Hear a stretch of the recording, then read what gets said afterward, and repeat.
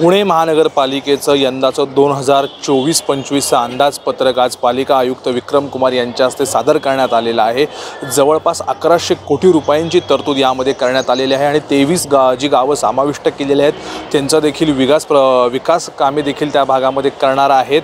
याचबरोबर रस्त्यांसाठी एक हजार रुपये कोटींची तरतूद दिलेली आहे आणि वाहतूक कोंडी सुटावी जवळपास यासाठी आठ उड्डाण पूल बांधण्यात आलेले आहेत आणि कात्रज कोंढवा जो ज्या ठिकाणी ब्रिजचं काम चालू आहे ते देखील लवकरात लवकर प पालिका पूर्ण करणार आहे. पाण्यासाठी जवळपास पंधराशे कोटीहून रुपये अधिक तरतूद करण्यात आलेली आहे. आणि जे जुने प्रकल्प आहेत जायका प्रकल्प आहे मुळा मुठा नदी संवर्धन प्रकल्प आहे पुनर्जीवनीकरण आहे त्याचबरोबर पुणे मेट्रो प्रकल्प आहे अशा अनेक प्रकल्पांची जी जे सुरू झाले आहेत त्यांना लवकरात लवकर पूर्ण करून ते प्रगतीपथावर आणण्याचं काम आता पुणे महानगरपालिका करणार आहे. मात्र यांना नवीन याच्या अर्थसंकल्पामध्ये कुठलीही तरतूद नाही आज या संदर्भात पत्रकार परिषद झाली आणि अर्थसंकल्प जो स अंदाजपत्रक जे आहे जे सादर करण्यात आलेलं आहे त्यामध्ये विक्रम कुमार जे आयुक्त आहेत त्यांनी काय सांगितलं पाहूया महापालिका चोवीस पंचवीसच्या आज अंदाजपत्रक आम्ही ते सादर करत आहोत. अंदाजपत्रक सादर करताना आम्ही एकंदरीत अकरा हजार सहाशे एक कोटी एवढा आज बजेट आम्ही तिथे सादर करतोय. आणि हे बजेट सादर करताना प्रामुख्याने जे दोन तीन महत्त्वाचे आमच्याकडे सूत्र होते. या सूत्राला लक्षात घेऊन आम्ही बजेट केलं आहे.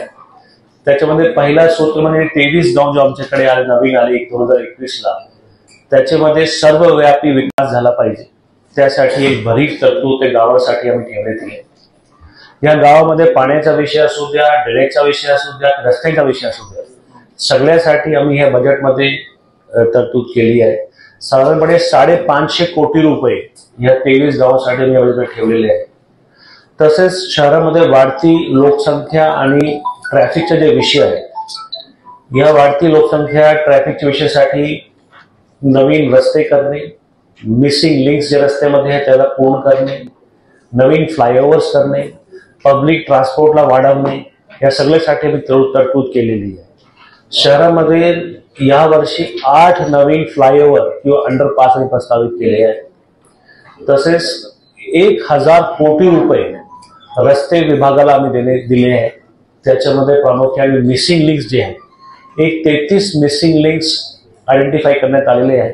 या मिसिंग लिंक्स जर पूर्ण केले तर ट्रॅफिकला दळणवळणला तेवढी सुधारणा होईल त्याच्यामध्ये तेवढा फायदा होईल.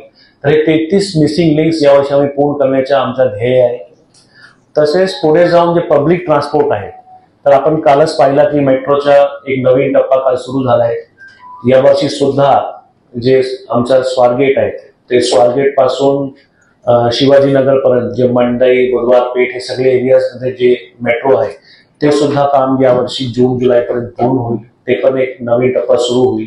तसेच पुढे जाऊन कात्रज ते स्वारगेट ह्या काम सुद्धा यावर्षी मेट्रोचं सुरू होणार आहे. आणि खडकवासला हडपसर जे मेट्रोचं काम आहे त्याच्या पण डीपीआर अप्रूव्ह झालं आहे. केंद्राकडे पण गेलं आहे. तिकडे पण आता अप्रुव्हल प्रक्रियेमध्ये आहे. त्याचं पण सुद्धा काम यावर्षी सुरू होईल. तर एक मेट्रोचं जाळ जे आहे ते यावर्षी सुद्धा वाढणार आहे. पुढे जाऊन नवीन स्टेशन ऍड होणार आहे. तसेच जे आमची पीएमपीएल आहेत पीएमपीएलला पण त्याचा ताफा वाढला पाहिजे नवीन बसेस त्याच्यामध्ये आली पाहिजे. तर त्यासाठी पाचशे नवीन बसेस पीएमपीएलसाठी सुद्धा आम्ही बजेटमध्ये ठेवली आहे. त्याच्यामध्ये चारशे सीएनजी बसेस आणि शंभर इलेक्ट्रिक बसेस अशी ह्या बजेटमध्ये तरतूद केली आहे त्यासाठी. ड्रेनेजचा एक अतिशय महत्त्वाचा विषय शहरामध्ये अजूनही बऱ्याच ठिकाणी ड्रेनेजची फॅसिलिटी चांगली नाही आहे. ती ड्रेनेजची कॅपॅसिटी वाढवली पाहिजे शहराची लोकसंख्या वाढली आहे जास्तीची डेन्सिटी वाढली आहे. तर शहरामध्ये ड्रेनेजसाठी सुद्धा एक भरीव तरतूदची गरज आहे. तर या बजेटमध्ये साधारण नऊशे कोटी रुपये ड्रेनेज खात्यासाठी ठेवलेले आहेत. त्याच्यामध्ये नवीन ड्रेनेज लाईन्स करणे आणि एस टी पी करणे. आपल्याला माहिती आहे की रिव्हरफ्रंटचं आम्ही काम करतोय. रिव्हरफ्रंटचं काम आता बरेपैकी चाळीस टक्केपर्यंत कंप्लीट झालं आहे. पण रिव्हरच्या पाणी पाणी स्वच्छ झाला पाहिजे त्यासाठी एस टी पीचे पण काम सुरू आहे. जायका मार्फत असू द्या किंवा पीएमसीच्या फंडातून असू द्या. तर यावर्षी जायका मार्फत जे अकरा एस पीचे काम सुरू आहे त्यापैकी चोवीस पंचवीस पंचवीसमध्ये दहा एस पीचे काम पूर्ण होईल. आणि त्यातून जे नदीमध्ये पाणी जो ग- घाण पाणी जातं नदीमध्ये त्याच्यामध्ये खूप काही सुधारणा होईल आणि स्वच्छ पाणी नदीमध्ये जाईल. तसेच यावरची जे आमच्याकडे जे महत्त्वाचे तळे आहेत कात्राच्या तळा असो द्या ब्राह्मणवाडी पाषाण या तिन्ही तळ्याचा विकास आम्ही या बजेटमध्ये ठेवलेला आहे.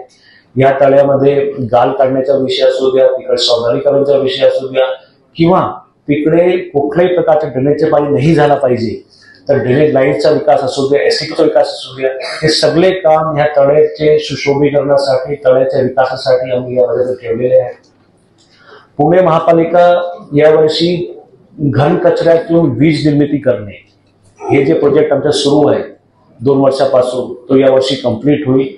आणि एक साडेसातशे मेट्रिक टन घन कचऱ्यातून वीज निर्मिती होईल असा हे प्रोजेक्ट यावर्षी ऑगस्ट सप्टेंबरमध्ये पूर्ण होणार आहे. तसेच यावर्षी आम्ही घन कचऱ्यापासून ग्रीन हायड्रोजन निर्मिती करणे. हायड्रोजन निर्मिती करणे ह्या एक प्रोजेक्टमध्ये घेतलेला आहे. हायड्रोजनची निर्मिती झाल्यावर त्याचा वापर ठिकठिकाणी जे नवीन टेक्नॉलॉजी आहे त्याच्या मार्फत त्याचा वापर होणार आहे. असा एक नवीन प्रोजेक्ट यावर्षी आम्ही घेत घेतलेला आहे. हे सगळे प्रोजेक्ट करताना शहरामध्ये लोकांचा लाईफस्टाईल क्वालिटी ऑफ लाईफ वाढली पाहिजे तोच उद्देश आहे. आणि जे पुणे शहर क्वालिटी ऑफ लिव्हिंगमध्ये देशात नंबर वन आहे ते देशामध्ये नंबर वन राहिला पाहिजे तसा आमचा प्रयत्न आहे. थँक्यू